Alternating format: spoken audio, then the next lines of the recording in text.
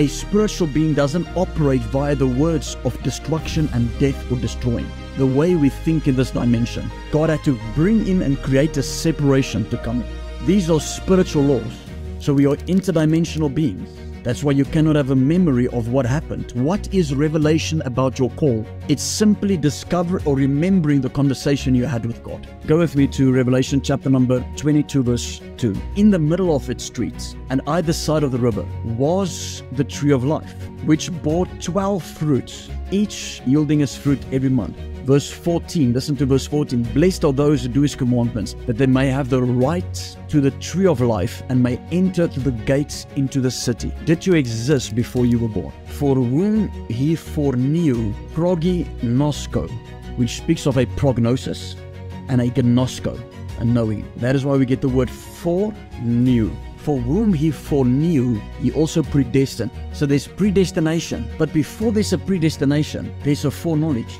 So hold on. These are two separate and two different situations that takes place before birth. The first one that is taking place is what we call foreknew, foreknowledge, a prognosis, a relational knowledge even before you were born, before the creation of this world, before creation itself, He had a conversation with you. He foreknew you. So the word foreknew is God had a foreknowledge, a prognosis knowledge about us. Then He predestined. The word predestined means He created a destiny for us, a destination. And then we were sent on that assignment. You were sent on this earth for a mandate, an assignment, a purpose. No military officer, no military general sends somebody on an assignment without that person knowing what the assignment is. So when you discover your destiny and purpose on this earth, it's because you already knew it. You just had to discover it now because you are a spiritual person who is experiencing a natural disposition, if I can put it like that. Everyone has the ability to decide, even though God knew in His foreknowledge and His predestination. So people are like, okay, but if God knew we were sin, why doesn't He save us? He did. God knew in His foreknowledge in his predestination that you were going to sin. And therefore, he created his son before the foundations of this world to bring in a discourse. God knew everything in his omniscience. If there was predestination or pre-election to salvation, there would be no need to preach the gospel. So just as Esau willfully chose to give up his birthright, every single one of us have a choice to accept the message, to repent and be baptized. Very, very simple. Jeremiah? Well, this is an interesting topic to cover today. I came across this video recently and watched it actually several weeks ago, and I've had other topics I've covered, but I wanted to talk about this and to touch on it a bit because of the uh, premise of what Leon du Preez, who's the voice you just heard, talking in this short clip that he played on his own YouTube channel called Existence Before Birth The Truth. He uh, expounds on, based on different verses, why he believes and teaches people that we actually pre existed before our birth. And I got to be honest, listening to this, it was as if I was hearing someone uh, twist the scripture like Twizzlers. I mean, I was listening to passages and thinking, uh, I don't think that's what that means. And he's using and appealing to Hebrew and Greek meanings. And a lot of times, many of us, myself included, we don't have a full comprehension of what those things mean. So when we hear someone begin to expound on that, and we begin to hear someone use the terms and appeal to Greek and Hebrew, that we immediately think, oh, well, they must know what, what they're saying here. The other thing that concerned me too was he was saying things that did not align with the traditional belief of Christianity and the things that are found in Scripture. And in fact, it actually agreed with some other religious beliefs that we'll talk about, touch on a little bit here today. Now, as always, this is not going to be an exhaustive episode.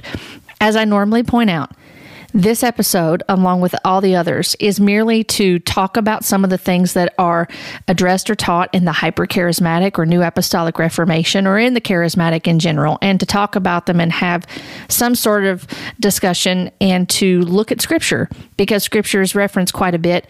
And I want to steer you back to some good sources that may help provide some better understanding of some of the passages that Leon is going to bring up today in this episode. So the question is Did we pre exist with God before we were born? Let's listen to Leon today and let's see what Scripture has to say on the matter. Hi there, and welcome to the Lovesick Scribe podcast, where we talk about biblical truths, current topics, and where we grow in loving the Word and loving the one who is the Word, Jesus Christ. I am Dawn Hill, and I am the Lovesick Scribe. We're going to be listening to some clips today, as I said, from Leon du Preez, who is a self professing prophet in South Africa. His testimony, just to kind of give you a little bit of understanding, he professes that he was a former drug addict. He had a radical encounter with Jesus Christ, and now he pastors multiple campuses in South Africa. And you probably heard him in some of these other episodes that I've played. For example, he's affiliated with the Demon Slayers, with Daniel Adams, and he's had some rather questionable things that's happened in the past that people have addressed. For example, several years ago, there were clips that came out from a video that he did of some teaching of sorts where he claimed that he could leave his body and go into the room and see what his wife is doing, and that he could go into other people's homes that were watching, essentially, and to see what they were doing. He has since uh, apologized for that and renounced that teaching. So when I saw this video, I immediately wanted to watch it and see because I had actually seen another clip that I was able to capture several months ago from a service that he had. And it was talking about increasing in your spiritual rank. And what caught my attention was he was actually saying these very things about predestination and election. And he was also making a comment about having a conversation with God before you were even born. And that caught my attention. Understandably so. And from there, that was when I found this shorter clip of him talking about this teaching specifically about pre existence. So I want you to hear real quick before we dive into that shorter clip that he played, the shorter teaching on his YouTube channel. I want you to hear this clip that I heard from this public gathering where he talked about increasing in your spiritual rank, just so you can hear this has been said on more than one occasion. This is not some one off that he did. This is a teaching that he teaches publicly, not just on his YouTube channel. I want you to understand predestination. Um, uh, uh, what is predestination? Here's my life. I'm standing here. I have something called the perfect will of God that is here. Then I have something called the permissible will of God that is here. And then there is something called not the will of God at all that we're going to get to now. So now I'm being born, but before I'm being born, God has a conversation with me, with my spirit. The Bible says that our spirits will go back when we die, when we pass on our, we will go back, our spirits will go back to the Father of spirits. Are you guys with me? We will go back to Him, and then from there, you get into eternity, whether it is uh, eternal judgment or whether it is heaven. But uh, we first, the body must go back to this earth, and the spirit must go back to where it's coming from. It's coming from the Father of spirits. As dust must go back to dust, this body your spirit must go back to where it's coming from. Before you were sent into this earth, there was a discussion about your life called the Yada life, which is the preordained, predestined life. Please, I do not, I am not saying or advocating pre election. I'm saying predestination. Are you guys with me? Something totally different. Because if I don't say this, then people will take it out of out of uh, out of uh, context. Pre-election in a Calvinistic way, says that uh, some are elected to be saved and some are elected not to be saved. We don't believe that. The Bible says that it's God's will that all will be saved. Are you guys with me? It doesn't mean that all will be saved, but it is His will that all will be saved. Okay, let me just interject something right now. Uh, you don't have to be a Calvinist to get to to reject what he's getting ready to say or to question what he's getting ready to say. Let me ju- let me just say that right up front. And I just find it very interesting as far as people who hold to Calvinistic beliefs and Calvinistic teachings. I find it very interesting when he's referencing uh, people that believe along that lines that he's trying to make it very clear that he doesn't believe that because it doesn't want to be a problem, but yet he doesn't see that there's a problem with what he's getting ready to say, which is very problematic. It, it's it's going to cause some issues, I, I believe, because Scripture just does not teach what he's getting ready to say about preexistence. At any rate, let's keep listening to Leon. But when I speak about predestination, it is something that is now meaning not about salvation, So your salvation is not pre elected, although it is because God is sovereign, and that's another subject to get into. Your destination, your destiny, your purpose is pre elected. It was discussed with God. That is why you will have deja vu. Because your spirit will remember being at a place long before it got there. It has already been there because it discussed a blueprint out for you. As sure as I'm standing in front of you today, I can preach to you that now what we're speaking here is revelation. So this is now I'm being born. Now I'm growing up in life and I'm making a decision. So I'm walking and I'm meeting somebody. Or let me say, I'm getting here to the first point of my life. And I can choose whether to go left or whether to go right. This is done obviously by the avenues how God speaks to us, which is by the word of God. But there's also an inner witness, which is your your compass for life. It's the Holy Ghost mixed with your spirit. Now you choose. Now, please, this needs salvation. Okay, so now you choose. Okay, you're getting saved or something, you're stepping into the will of God. Now you're getting, let's say you get to the next chair. Okay, so he's talking about chairs. I know you can't see it on the podcast, but you will see on the video later on YouTube. He's actually having some people set up chairs in a line and having people stand in a certain place on uh, among the chairs and he's talking about the perfect will of God versus the permissible will of God. And many of us have heard that. I I remember hearing that many times and believing along those lines and talking about how people will step outside the will of God and I think that a lot of times, I mean, that's a whole other thing to talk about about the sovereignty of God and understanding that a little bit better. So I would encourage you to understand that God is sovereign in the midst of all this. And I found it very interesting too when when Leon was saying some of these things, how he was contradicting himself within seconds of what he was saying. It was so confusing as far as God gets his will, but you know, you can step outside of his will and God's in control, but at the same time this can happen and then he says, you know, God wishes that all will be saved, but we know that they not all will be saved, but we can believe that they all it was just very confusing how in with a matter of seconds. But that the main thing was that caught my attention. He said there that there was a conversation had with God, meaning that you were there before you were even born and there was a conversation which led me into this video that we're going to listen to now. We're going to listen to some, some clips from it. So he did this teaching fairly recently within the past month, actually, and it was titled, as I said, Existence Before Birth The Truth. And in the description, he says, Did you exist before birth? Revealing the truth about God's image, spirit, and predestination. Discover the law for spirits and interdimensional beings, and how your will impacts your life's purpose. Join us for a mind blowing journey of willful choice and God's preparing your body. Watch now. And then there's timestamps that you can watch this and then you can give to his ministry and ministry links and connect with him. And then there's videos you can watch that he has listed that you might be interested in, ranging from uh, deliverance to truth about sin to how to bend time. I mean, a lot of this does not sound uh, immediately like a, a, regular biblical teaching. And in fact, there were people that commented, there were many people that agreed with what he said in this teaching, even saying, you know, you're not going to hear this in a traditional American church. And I think there's a reason for that because of what he's saying in these clips. And he's talking about how we actually existed before we were born. And I hope that uh, by the end of this, there's some a little bit better understanding, and we'll even look and hear um, some video clips from a Bible teacher about Romans 8:29 because Leon references that, and so I believe that we need to look at that.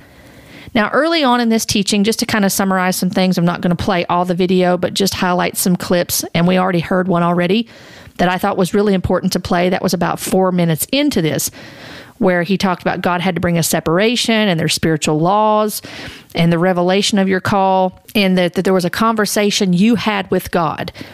And you heard him say that's why you experienced deja vu because you've already been at that place before. So, again, appealing to this whole teaching of pre existence. And he says about four and a half minutes in, Did you exist before you were born? Citing the Hebrew word prognosko, which he says it means to know beforehand or foresee. And then he goes on to quote Romans eight twenty nine. saying that there is a predestination, but before this, there is a foreknowledge, and that these two are separate situations that take place before your birth. Now, prior to this, in the video, he opens up with uh, emphasizing likeness and image, and he states that there were people before Adam that existed, citing Genesis 1:26. And he said they had a likeness of God, but not the image of God. That Adam lost the image, but Christ restored the image.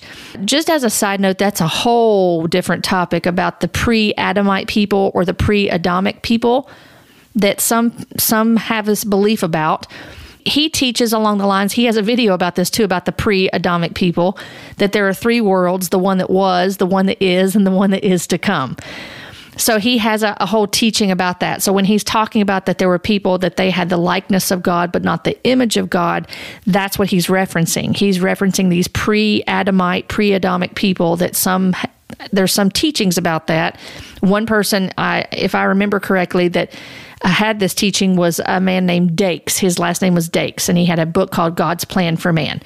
And people will read into Genesis 1 in the first two verses, and they'll say there was a time span there where there were people that existed before Adam, and they were soulless basically, and that God wiped them out with a flood, and that's why that the there was hovering over the face of the deep. Again, this is not in the, the biblical text, but there are teachings that go along with this. But we, we we're going to see as we go through this that sin actually and death entered through Adam. So death entered through Adam. It doesn't say anything about death entering before.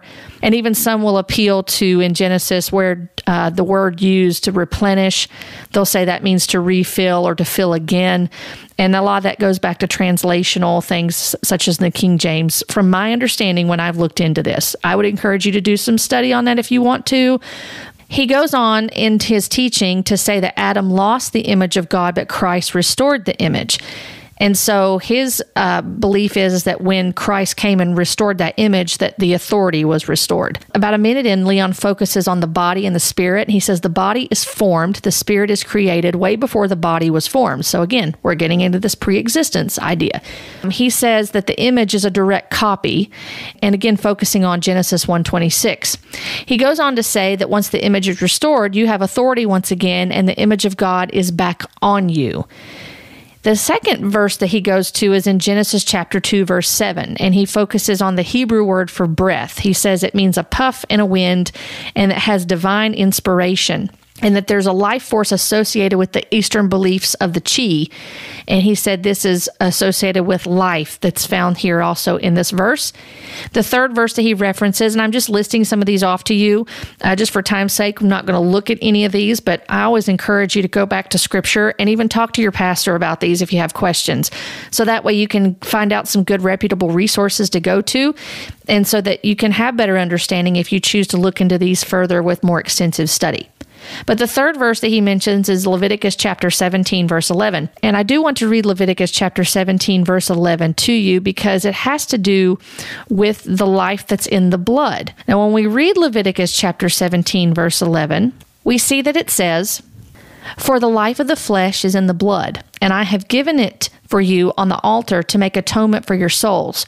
For it is the blood that makes atonement by the life. And so, as Leon continues to expound on this, he tells people listening that we were alive before this, before that we were given a, a, a fleshly body with blood in it, a, a flesh and bone. He says we were alive before this and that we are interdimensional beings. And this is why we cannot remember before we were born or even conceived. I want to play that for you so that you can hear what he said. Let's go to Leviticus 17, verse 11. It says, For the life of the flesh is in the blood, and I've given it to you upon the altar to make atonement for your souls.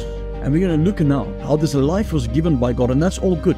But we were alive before. Now people are like, but why can't we remember? And this and that. Because we are interdimensional beings. There's no difference between you and an angel except the fact that an angel doesn't have the redemptive power of the blood. Why did God not destroy Satan? God cannot destroy a spirit, he can only separate a spirit. There are different laws, and please, when I say God cannot destroy a spirit, I'm not removing his divine attributes and qualities of omnipotency, omniscience, and omnipresence. He's a divine quality of omnipotency because he created the lake of fire Now, when watching this video on YouTube, by the way, it looks like it's been spliced together. So I think this is from another teaching that he's done. So the background music and things that I did not do that. That's all part of their their thing. That the whole thing that they do to add the atmosphere or ambiance to it to give it more impact and more oomph. You know, kind of like a movie. Anyway, you just heard him say that. I wanted to play that so you heard exactly from the horse's mouth that he said that. He said the reason why you can't remember is because you're an interdimensional being. That you've had this conversation with God and that you pre existed and going on about why God could not be uh, destroy Satan. And again, he he does this whole double speak thing. Well, God cannot do that, but I'm not taking away from God's attributes. Okay, and then we, as I said, we're we're at the four minute mark now, is what we just talked about. About five minutes in, he talks about foreknowledge that takes place first before you were born, even before creation itself. God had a conversation with you, and he had a foreknowledge or prognosis about us. So there's predestination. But before there's a predestination, there's a foreknowledge. So hold on. These are two separate and two different situations that takes place before birth. The first one that is taking place is what we call foreknew, foreknowledge, a prognosis a relational knowledge.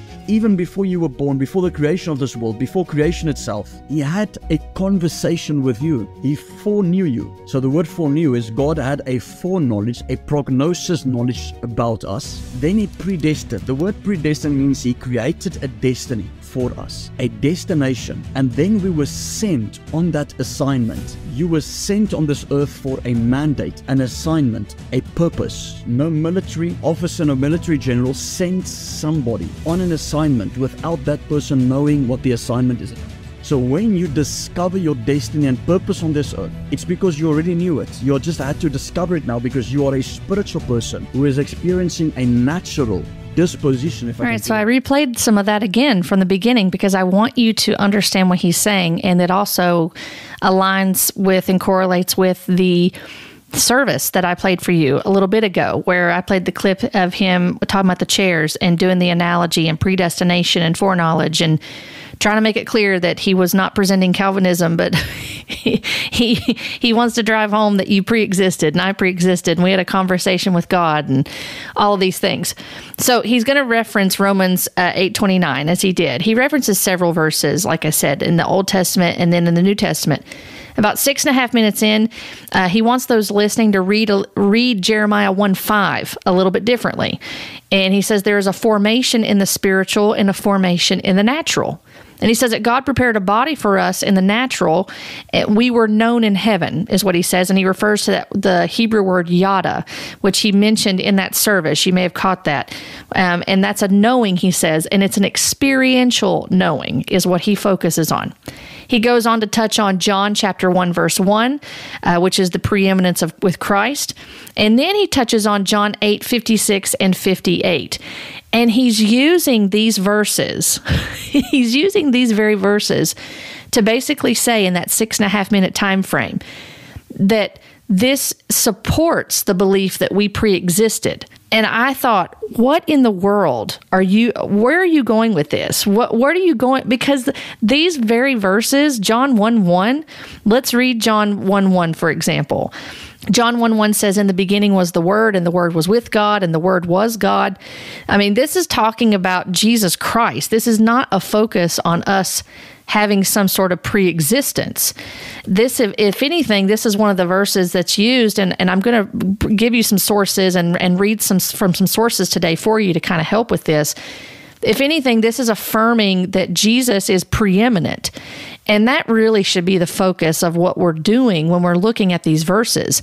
We're not trying to find ourselves in these. We're trying we're we're finding Christ. We're actually seeing that Christ is dis- on display in scripture. He is the focus.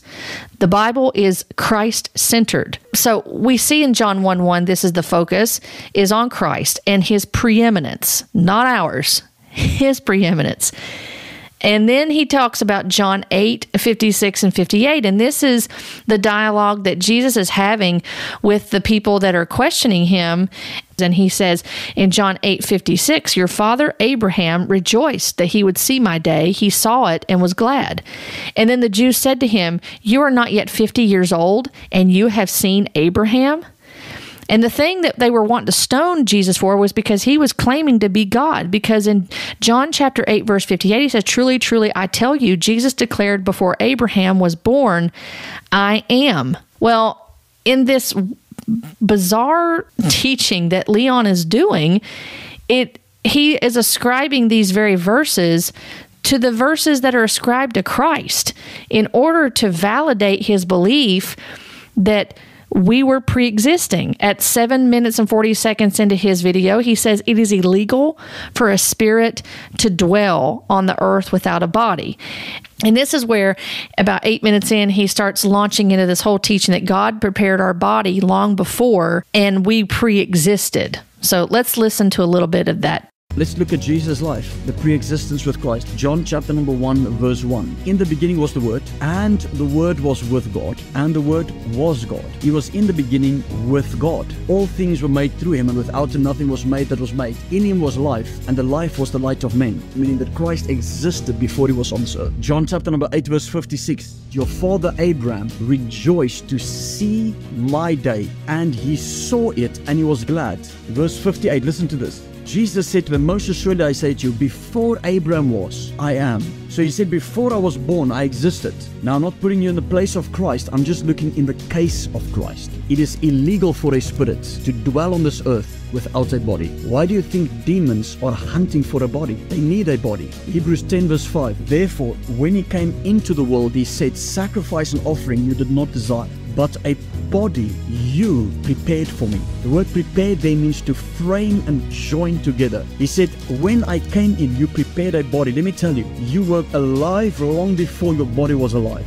God prepared your body for the function, for the purpose that you were created. Yeah, I think this is a good time to ask ourselves when a scripture says, such as Hebrews 10 5, that a body was prepared for, for Jesus, who was preeminent and and etern- and has been eternal. He has been from before the foundations of the world. He he is God. God is has always been. I think we need to ask ourselves: Are are we supposed to ascribe the same passages that are ascribed to Christ to ourselves? Because it seemed like what he was doing. He was drawing the conclusion that, well, because a body was prepared for Christ and it was framed, as he said, framed and structured, that means that you existed just like Christ did. He even says in the in the um, the timestamp. He has them the timestamps marked in this, and that very one I just played for you is titled "Pre-existence with Christ." That part of it is called "Pre-existence with Christ." And the next one was the law of bodies on earth, which he said it is he said it's illegal for a spirit to be in the earth without a body, and then God preparing your body. So he he's taking passages that are ascribed to Christ and creating this teaching or agreeing with this teaching. He's not creating it because it's been around. I'll show you in just a minute that there's other religious systems that believe this he's taking this teaching and he's telling people, telling believers, professing believers, you pre existed you you have always existed because of Jeremiah 1 5 and Romans eight twenty nine and and all these different passages and that God's prepared a body for you and it's illegal for you to be here as a spirit. So God prepared a body for you, just like in John 1 1, when when it talks about that the uh, in the beginning was the word and the word was with God and the word was God and John eight fifty six and Hebrews ten five. So you can take all of these and just apply them to yourself. Is is that what we're supposed to do? Well, when when you begin to go down this road, where can this lead? Because this can lead into other errors. Now, uh, this is not a Christian doctrine, by the way. This is not something that that we ascribe to as far as believing that we're pre-existent. And we're going to look at some of these passages and, and again look at some sources for this that I think will be most helpful. But one thought that came to mind was would this not make us eternal as far as and even preeminent that that would make us existing when God did. And then that would make us just like God, right? And I think that this type of teaching can really lead us astray and it can be self centered. Again, when we read scripture, we're not supposed to be necessarily looking for ourselves, though we know that the, the Bible was, there's parts of it that are written to us and that there it was written for us at the same time. There's certain parts of it that were, were written for us to apply to our lives. There's descriptive passages, there's prescriptive passages. And we need to be aware of that when we're looking at scripture so that way we uh, apply them appropriately in our lives. And that way, we're not applying something that's descriptive as prescriptive or something that's talking about Jesus, that is describing something that is pertaining to Christ, pertaining to his earthly ministry. So I, I, found some articles I think that will be helpful to us in in having some understanding. And before I get to that, I just want to point out a couple of things that are uh, similar in some other belief systems because you may be listening to this and thinking, "Well, I don't really see any problem with this. It doesn't sound." Uh, that bad. Maybe you're thinking that, uh, but I do want to point out a couple, of, uh, two different belief systems that agree with this. Uh, one of them that actually agrees with this is the is the Church of Jesus Christ of Latter Day Saints. Mormonism believes in this. They believe in pre-mortality.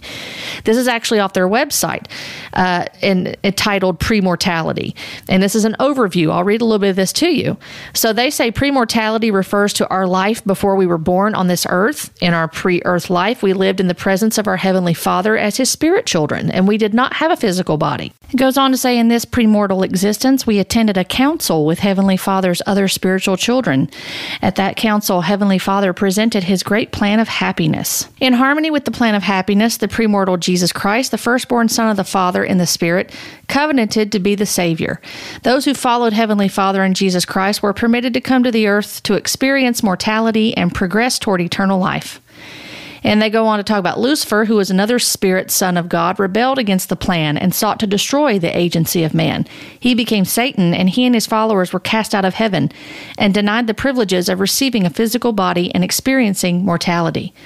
Throughout our premortal life, we developed our identity and increased our spiritual capabilities. Blessed with the gift of agency, we made important decisions such as the decision to follow Heavenly Father's plan. These decisions affected our life then and now. We grew in intelligence and learned to love the truth, and we prepared to come to the earth where we would continue to progress. So that's the Mormonism belief about preexistence.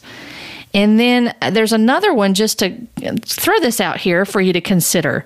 Um, spiritual preexistence. This is found on Christian Science Sentinel and they believe in preexistence. They even quote John 8:58 before Abraham was I am, one of the same verses that Leon du Preez references. And they said probably one of the more dynamic yet neglected truths that Jesus gave the world was that of spiritual preexistence of man. He once enraged his hearers by saying, Before Abraham was, I am. And in prayer, he declared, You love me before the foundation of the world.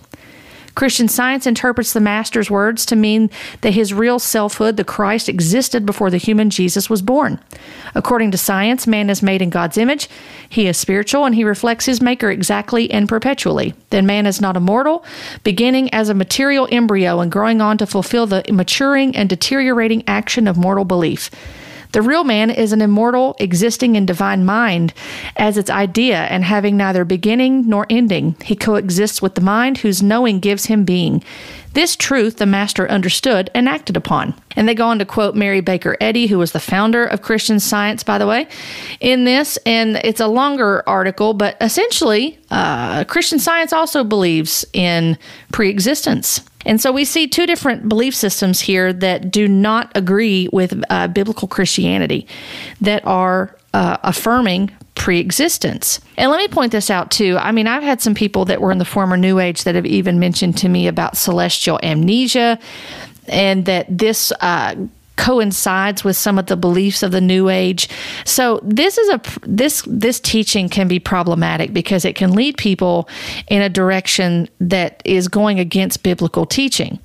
Now when you begin to look online to get a better understanding about what the Bible does say about preexistence of souls, for example, gotquestions.org has um, um, an article on their website that talks about this and I wanted to mention that. They actually make note that the Bible says nothing about the pre-existence of souls because this is a man-made idea with no basis in truth. And they say the Bible makes it clear that every human being is a new, is a unique creation of God, citing Genesis 2 7, one of the very passages that was cited by Leon, as well as Jeremiah 1 5 and Zechariah chapter 12, verse 1. They go on to talk about the concept of preexistence cannot be followed to its logical conclusion, and that there's one of three categories that are believed if someone holds to preexistence. The first one could be is that the soul has always existed. The second is the soul was created at a previous time and waited incorporeal until it could inhabit a body on earth. And the third belief or option is that the soul inhabited another body in the past and transmigrated to its current body, which that goes along with reincarnation. And they say if number number one is true, which is the soul has always existed, that human beings are also part of God, uncreated and self determined. And this concept is clearly contrary to the Bible's claims that there is no other God but Yahweh. And this is cited in several verses that they reference, such as Genesis 5 1, 1 Timothy chapter 2, verse 5. 1 John chapter 4 verse 12, Malachi chapter 2 verse 10, 1 Corinthians chapter 8 verses 5 and 6. And they go on to talk about the others as well, versus uh, the second and the third option. As I go down and read this to you, just the, what they cite in here, they said the Bible refers to death as a time when a person was gathered to his people. This indicates that at death, a person's soul leaves his body and joins those who have gone before him. And then they go on to cite Luke 16, 19 through 31 about the the rich man and Lazarus. And they also make this point in here, which is an, a good point. They said neither of those souls in Luke 16 re inhabited another body, nor is there any indication that their souls had pre existed. They each received the consequences of their life's choices.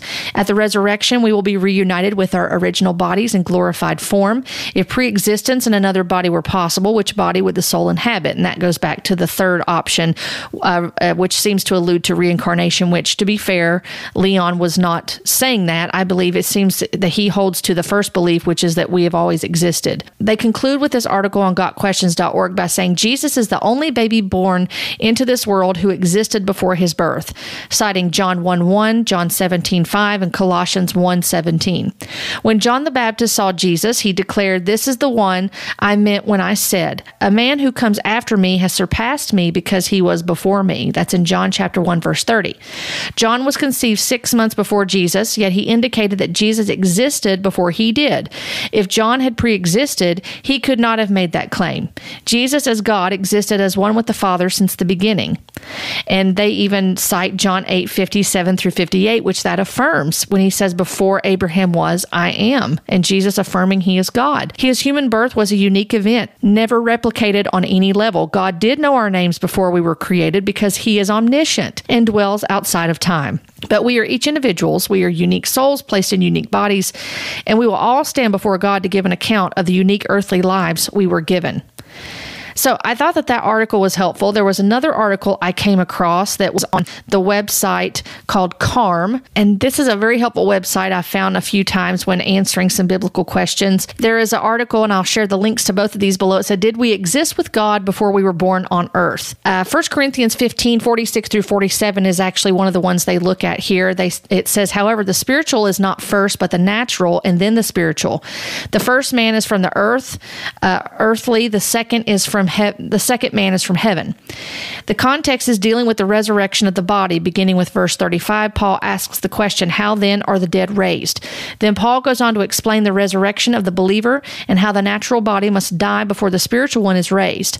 Paul is simply describing the proper order of existence. First comes the natural body, then comes the spiritual or the resurrected body.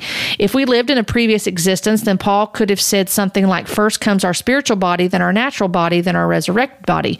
But uh, he doesn't say that. The second verse that they look at is Jeremiah chapter 1, verse 5. So I wanted to share this with you since Leon cited that one. This article says on Carm, one verse that is commonly used is Jeremiah 1 5. Before I formed you in the womb, I knew you. But this verse is not talking about preexistence, it is talking about God's ordination and appointment of Jeremiah to be a prophet to his nation. And they do cite about how the Mormons have their belief of preexistence. In this, verse, uh, for example, they also make the point of noting how God uses the word know. For example, the Bible says that God only knows believers, not unbelievers.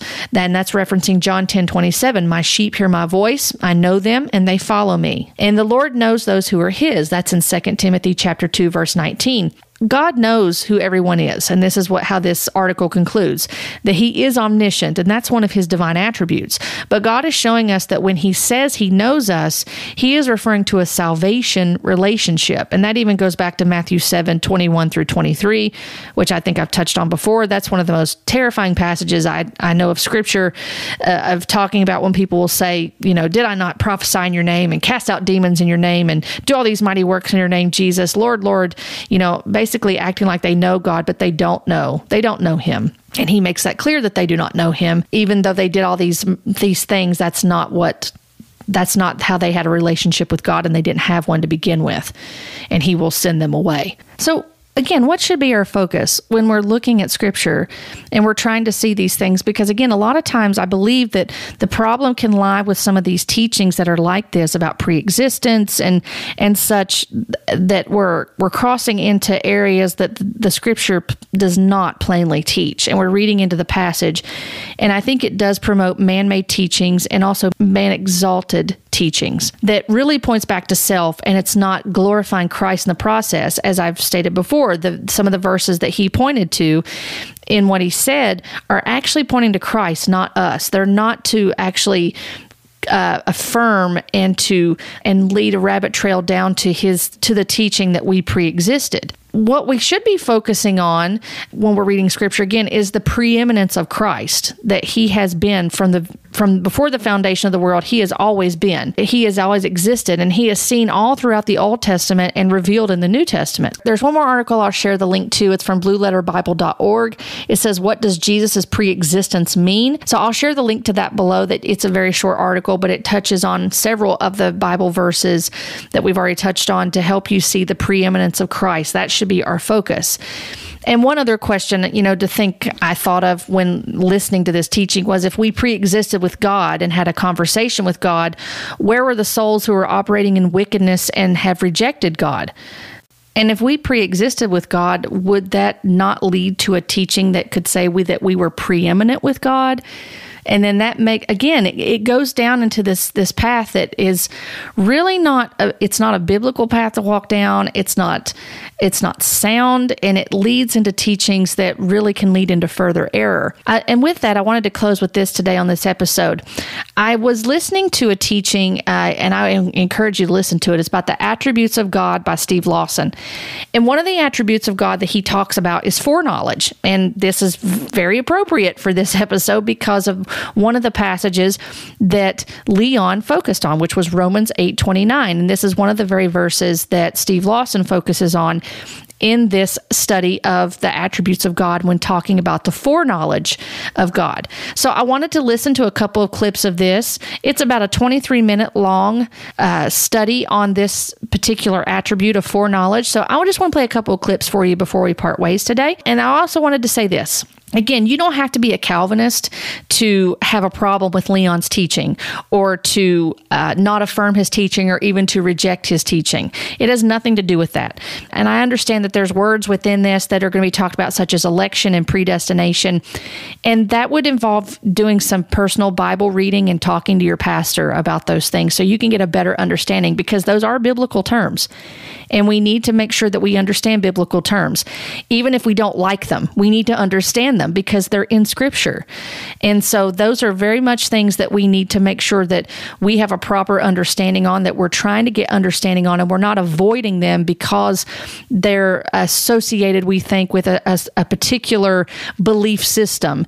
They're in Scripture. And so we need to make sure that we have an understanding of them and that we're also at the same time not creating additional doctrine such as pre existence and we're negating what's already in Scripture by creating something that's not clearly found in Scripture. So, at any rate, let's listen to some of this, and and also, I, again, I would encourage you to examine the Scriptures and seek out solid teaching for yourself that is not muddying the waters and not muddying the understanding of of Scripture um, for you personally as a believer. So, let's listen to a little bit of what Steve Lawson had to say about foreknowledge because I think that this will help us in our understanding of Romans 8:29.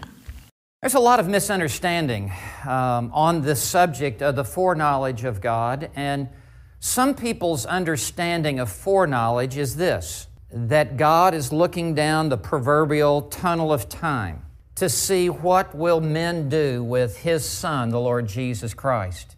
And based upon what God foresees, God will then make a reciprocal choice towards them. If God sees in the future that someone will believe upon His Son Jesus Christ, God foresees that, and when He foresees that person believing in Christ, God will then, from eternity past, uh, ordain them unto salvation. Unfortunately, that is 180 degrees in the wrong direction. That is a, a, a significant misinterpretation of Scripture. And for three reasons. Number one, God has never looked into the future and learned anything. God is omniscient. We've already covered that attribute. God knows all things. God never learns anything. God never looks into the future and ever sees anyone do anything that He has not already foreordained. Second, if all God does is look into the future to see what someone will do, and that's all that foreknowledge is, this is what God will foresee. We all, like sheep, have gone astray. Each one of us has turned to his own way. All God will see is that no one will believe in his Son, Jesus Christ. The Bible teaches the total depravity of the human heart. The Bible teaches the bondage of the will.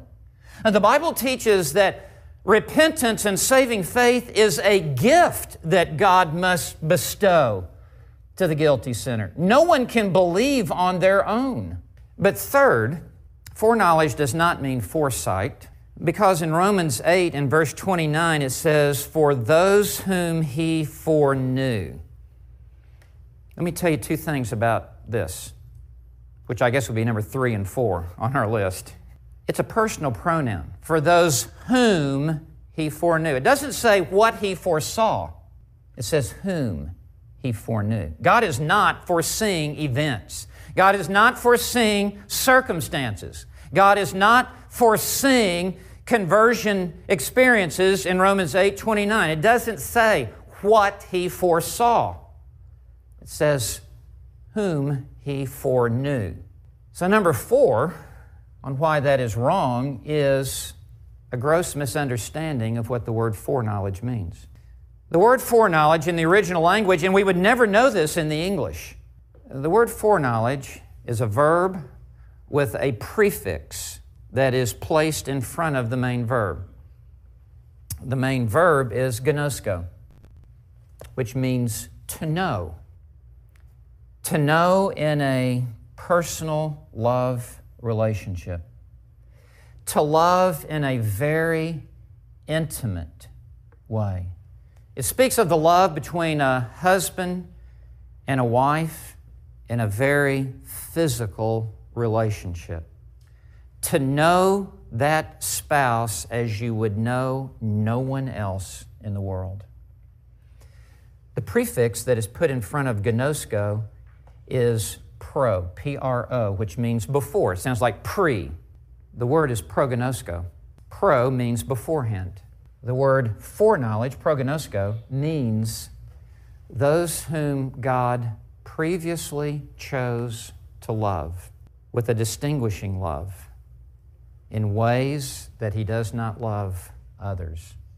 I have one more clip to play from this teaching about 16 and a half minutes in, but I just wanted to interject here. I will have the link for this in the description below for this episode, but I just wanted to play this for you real quick. And again, I encourage you to listen to it and listen to the teaching he has on the attributes of God. What does foreknowledge mean? It means that before time began, before the foundation of the world, in eternity past, God drew a circle around your name and He singled you out and He chose to love you and He set His heart upon you with blazing, burning love and affection. He, he entered into a saving love relationship with you by his eternal covenant from before the foundation of the world, and he wrote your name in his Lamb's book of life before time began. You are mine, and I have set my heart upon you, and I love you with an everlasting love. That's what the word foreknowledge means. For those of us who are in Christ, we belong to uh, all powerful, all knowing, ever present God who loves us and uh, f- foreknew us and predestined us. And it brings us more comfort and joy and peace when we look at Scripture in the right context, increases our fellowship with God. And it helps us to see the love of God and and his sovereign plan and his sovereign ways.